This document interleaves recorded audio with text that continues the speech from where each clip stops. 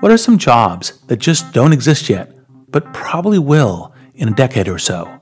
Sure, Reid. Here are some potential job titles that may exist in the next decade or so as a result of the continued advancements in AI AI Ethics Officer, AI Explainability Engineer, AI Governance Specialist, Virtual Experience Creator, Robot Human Team Coordinator, AI Powered Personal Shopping Assistant, AI Assisted Urban Planner, AI Powered Mental Health Coach, Automated Supply Chain Optimizer, AI Assisted Climate Change Analyst.